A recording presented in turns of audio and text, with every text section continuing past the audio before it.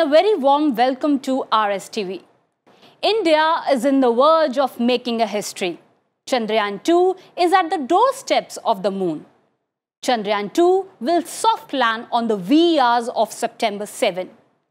India will become the fourth country to do so. Vikram, lander and Pragyan rover will land on the moon and conduct research for 14 days. The orbiter will go around the moon for more than two years. In a series of programs, RSTV will explore the intricacies of the mission, implications for India, and the contribution to the world of science. In this episode, we will look into the 40 days of nail-biting journey of Chandrayaan-2.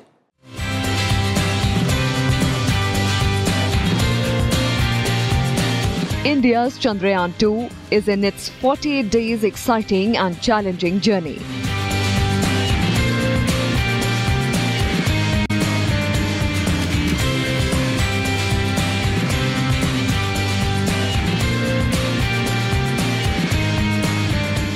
The historic mission was successfully launched on 22nd July at 2:43 pm by GSLV Mark III M1 launch vehicle from Sriharikota, just days after the 50th anniversary of the first human moon landing Apollo 11. Earlier, Chandrayaan 2 launch, which was scheduled on 15th July 2019 at 2:51 am, was called off due to a technical snag that was noticed at around one hour before the launch. The fully indigenous mission Chandrayaan 2 has three modules an orbiter, a lander named Vikram, and a rover named Pragyan.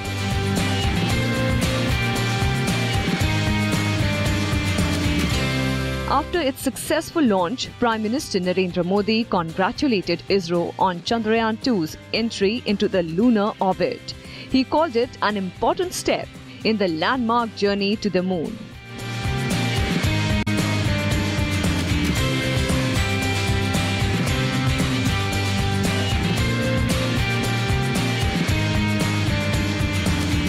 While ISRO chairman K. Sivan said, we bounced back in flying colors after the earlier technical snag.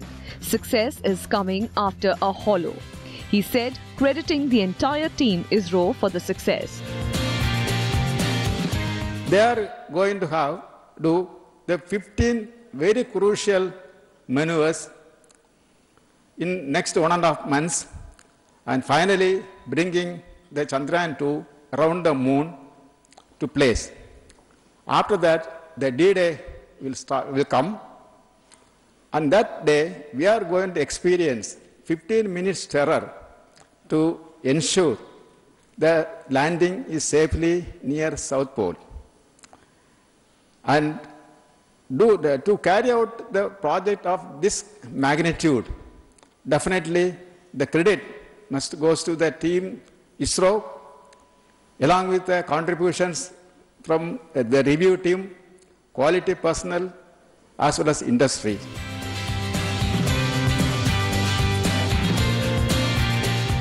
Chandrayaan 2 has a 48 day cycle to touch the moon, out of which the most challenging part of the venture will be on 7th of September, when Chandrayaan 2 will soft land its Vikram module on the lunar surface and deploy the six wheeled rover Pragyan to carry out scientific experiments.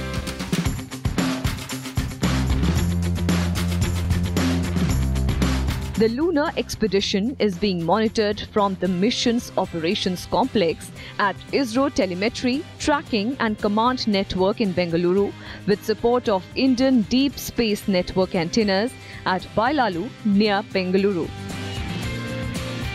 If Chandrayaan 2 landing on the moon is successful, it will make India the fourth country in the world to successfully conduct a soft landing on the moon's surface.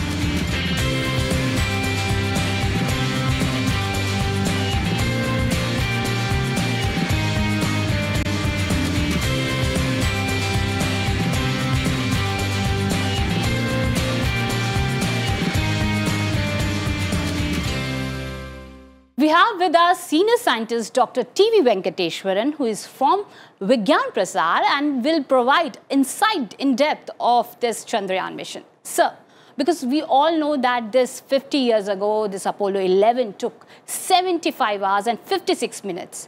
And this Chandrayaan 2, 48 days. Why Yeah, so? uh, actually, if you look at it, uh, July 20th, 1969, about 50 years ago, uh, Apollo 11 took humans and landed on moon, and it just took about five days, little less than actually five days. Uh, if you look at uh, Luna 2, which was the first first uh, uh, human-made object to go and impact on uh, moon, it just took 36 hours, not even five days. Uh, this is a place where the crash landing of the Luna 2 took place. It was not a soft landing, it was a crash landing. And you can see close up that place where the impact because of the crash landing has taken place.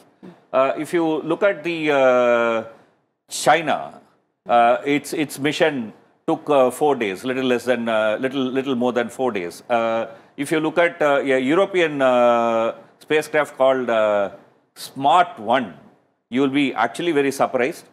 It was the slowest mission as far as now with regard to going to moon. It took more than a year, more than a year to reach moon. Okay, but if you look at New Horizon, uh, which is which is the fastest mission, you know, it just reached in eight hours. Okay, maybe uh, 8 hours, uh, 35 minutes. I mean, it, it's the fastest mission. It's all to do with the uh, rocket's capabilities. You look here, the Saturn V, which is the uh, rocket which took the uh, human beings to moon. If you look at the low Earth orbit, low Earth orbit is about 400, 500 kilometers from Earth. I mean, it can carry a weight of 118 ton. Whereas GSLV Mark III, that to the Mark III, the recent one, can carry maximum of 8 ton to the low Earth orbit. So you can see the difference in the uh, power of the rockets. Okay, so if your rockets are very very powerful, you can perhaps uh, take a very straight path. You can even reach in 8 hours. If your rockets are powerful and you want to save fuel, you go through a path which may take 5 days, 6 days. And if you have a low powered uh, rockets like GSLV, maybe you will take 48 days, but still you will reach moon. So, sir, uh, this question coming in like uh, in just uh, because this uh, mission was launched on 22nd July and it is up to September 7th. So, in between these 48 days, what the ISRO scientists are doing? Uh, okay, actually, if you look at it on July 22nd, it was launched and it was sent in the course of Moon on August 14th. So, first let us look at this part, what they were doing. Uh, this is uh, what is called as the earthbound phase, where you are trying to increase the orbit of uh, the Chandrayaan. The orbit is in elliptical orbit. So, you are actually increasing the height of the ellipse. You know, the closest point is roughly the same, but the uh, furthest point from Earth, you are trying to raise. This is called orbit raising maneuver. Uh, this actually is done by actually uh, burning your rocket when the rocket is very near to the Earth. Okay, the point very near to the Earth, which is called as perigee technically. So it's not the name that is important. Uh, what happens is that if you if the rocket is going in the uh, blue line, which is its original orbit, this is the direction of its motion. On the direction of motion, if you fire the rocket when it is very near to the Earth, what will happen is that the uh, orbit will raise. Okay, the orbit will uh, go up by uh, the kind of velocity that you are giving. Okay, uh, so this way, constantly by firing once in a while when the uh, rocket is near the perigee, the orbit of Chandrayaan was uh, you know made to go up and up. Then uh, uh, uh, it uh, reached something like about uh, 1.4 lakh kilometer. But you might ask uh, why burn the uh, rocket only when it is near? So actually, if you look at it, when the orbit is going around the Earth, only during that uh, path which is marked red, if you fire, actually most of your uh, fuel would be used for actually making the uh, rocket go up. If you fire the rocket elsewhere, uh, the rocket will not uh, get all the uh, you know power for its uh, going up. So most of it will be waste, wasted for going against the gravity So, there is a particular point. only where you can actually burn. Burn. Okay. Huh. So why we were doing like this? That's the most important question. That Hmm. uh, GSLV Mark III, Mm-hmm. our rocket, as I pointed out, it can take only eight tons to uh, low Earth orbit. but you want to go to, the, which is about 400 kilometers, you want to go to about 3.8 lakh kilometers. Okay? So the GSLV rocket can give only about 10.3 kilometer per second velocity. Okay. But to reach to the moon sphere of uh, gravity, you need 10.9 kilometer per second. So there is a gap of 0.7 kilometer per 2nd That's what you are achieving while by burning your rocket when it is in the perigee. Uh, the uh, spacecraft, the rocket in the spacecraft that you are burning when it is in the perigee. So you have to burn it only for short intervals because when it is just moving here, you'll have to burn. Uh, so you'll have to repeatedly do it. So we were burning it for about five days oh. uh, in this whole period. Uh, two orbits we were keeping to check whether the orbits are all okay. In the third orbit we'll burn. Again two orbits we'll just keep quiet, look at whether things are okay and then the next third orbit we were burning. So in this way, slowly the orbit was raised.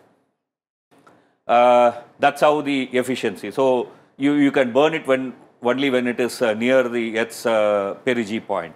That's how you will get efficiency, fuel efficiency. Uh, as I was pointing out, uh, the GSLV is not a very, very powerful rocket. No, so uh, ISRO had to devise a very, very ingenious plan to go to moon because you can get maximum of 10.9 kilometers. You can only go up to one point. So what's this ingenious plan? This is this is it's a very very uh, interesting part. Uh, if you look at uh, Earth and Moon, both of them have uh, uh, gravity. Oh, This is where we call it as lunar insertion. So basically, by uh, making the rocket, uh, I mean spacecraft, go around the Earth many times, you are uh, pushing it into the Moon. okay. Okay. So the ingenious plan is that uh, when you look at Earth and Moon, both of them have gravity. Okay. So the Earth is pulling an object, the Moon is also pulling an object. Let's assume I am Earth and you are Moon, okay? And let's do a tug of war, okay? You are pulling and I am pulling. There'll be a point where the your pull and my pull is almost same, right? Mm-hmm. Exactly same. Mm-hmm. So if I send a spacecraft and just nudge the spacecraft just beyond that, mm-hmm. your pull will be greater than my pull and the spacecraft will fall on you, right? So the ingenious plan of ISRO was to use the gravity of moon to make the spacecraft go towards moon. That's a, that's a engineer. So here we take a small break and this is all just scientific magic for us. We'll take a short break. We'll come back soon.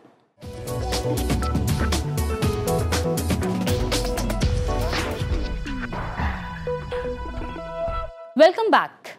TV sir, you was talking about that this spacecraft will be uh, inserted towards the lunar orbit and it will be attracted towards the lunar uh, gravitational force.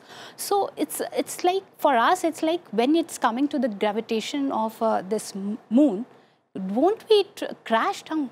Yeah, yeah, it's a, it's a, it's a very, very important question, and actually, it's a very, very tricky operation. Uh, if you look at it, uh, the path of the uh, spacecraft, that is Chandrayaan 2, will be what is marked there as number one. Okay? And it will go to the point which is marked red. If you do nothing, actually, what will happen is that after some time, the moon will also go a bit forward, and this uh, spacecraft will also go forward, and both of them will crash. So you have to stop it. Okay. So when uh, the uh, spacecraft is being attracted by moon, it will be attracted at a velocity of about 2.4 kilometer per second. So when you reach that point, red point, you will have to reduce that velocity to 2.1. So if you reduce it, what will happen is that it won't fall on the moon, but it will start circulating the moon, going around the moon like a, a spacecraft. I mean, like a, a artificial satellite, artificial satellite of moon. That's what is called as lunar insertion. It's a very, very tricky operation. Uh, we have done it earlier in Chandrayaan 1. We have also done it in the case of uh, what is popularly called as Mangalyaan Mars Orbiter mission. And uh, this time also we succeeded it. And that's how it was placed. So once you go to the point, uh, red point, you uh, burn the uh, spacecraft on the direction of the motion. Right? See, when uh, you, you, in ordinary rockets, when you fire the rocket, the fire will go down and the rocket will go up. Fine. But in this case, what you do is that the rocket is going up. On the direction of the motion, if you fire, the fire will exert a pressure on this side, force on this side. The rocket force will be on this side. Both will compensate and the speed will reduce. So Velocity will it's reduce. like Earth uh, force and uh, the, the force of the uh, force of the spacecraft, spacecraft, will be reduced, by this firing this rocket. and it is opposite from Earth to moon. yeah, so that way it will be captured by moon and then it will become a artificial satellite of the moon. That's called as a moon insertion. That's a very, very tricky operation and we have succeeded it really very well. And uh, the report is that what exactly they expected, just about with a difference of one kilometer, they were able to achieve. That's a, that's a very major uh, significance actually. Very exciting, very exciting. And what about this lunar orbiter maneuvers? Because uh, people want to know that is that fuel from starting to the end of this journey? Is that fuel Yeah, it's, it's, it's an important point. Uh, this lunar orbital maneuver is also a very, very uh, essential aspect of this uh, program. If you uh, look at this, when you are entering into the moon, your orbit is a huge ellipse. Huge ellipse in such a way that the distant part is about 18,000 kilometers. The uh, actual orbit that you want is somewhere around 100 into 100 kilometers. That is, it means that you want to make a circular orbit. okay.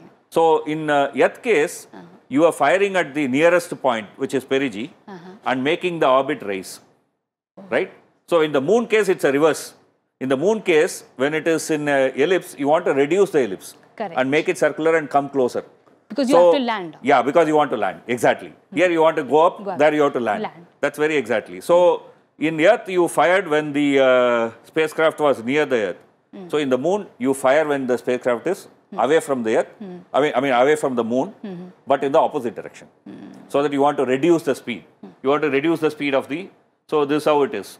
On Earth, you uh, fired it at perigee, Hmm. but on the Moon, you actually fire it at apogee. So in the apogee, Hmm. you fire, but on the opposite direction. Okay, so then the orbit will reduce, and then uh, you will get uh, the uh, moon's orbit uh, reduce step by step. So uh, in case of Earth, as you rightly pointed out, that uh, you want to raise the uh, orbit, but whereas in case of Moon, you have to reduce the orbit. So in case of Earth, we fired it when it was in perigee on the direction of the motion. But uh, when you are on Moon, you want to reduce the orbit, so you actually fire it on apogee, but on the uh, same direction of the motion. Okay, in the same direction of motion, so that the uh, orbit will come down. come down. Great. So uh, there's a caution comes in because this spacecraft have recently sent two important pics. There are many others, but I think two importance are there. One is the Earth first pic, uh, which was very colorful, and the second one was the Moon one, which was very uh, looking very grayish and uh, black and white. Why so? Yeah, it's a very, very interesting point, and uh, both these pictures were captured by the same camera, which is uh, a camera in the lander. Okay. In fact, while taking this picture, actually ISRO was doing a testing of its lander camera, which is very essential for landing. The difference is Earth is colorful, Moon is just only shades of gray. So there is no color on the Moon. So it is not like a black and white picture that ISRO has sent you rather than giving you a colorful picture. The moon itself is not colorful. It's colorful in a different way, but not colorful in the uh, same way like Earth. Earth has vegetation, cloud, water. You know there are multiple things which gives you uh, different colors and uh, hues. But whereas moon, the surface is just nothing but rocks and soil. Okay, so it's a, it's only uh, multiple uh, uh, shades of gray.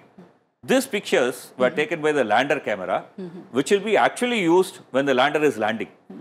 You know, I mean, uh, uh, uh, today most likely when you and I are going to travel, what we are going to do if you are going to a new place, you are going to take your uh, mobile and use Google uh, Map to know how I should go, right? In the same way, these images will be sent to the lander.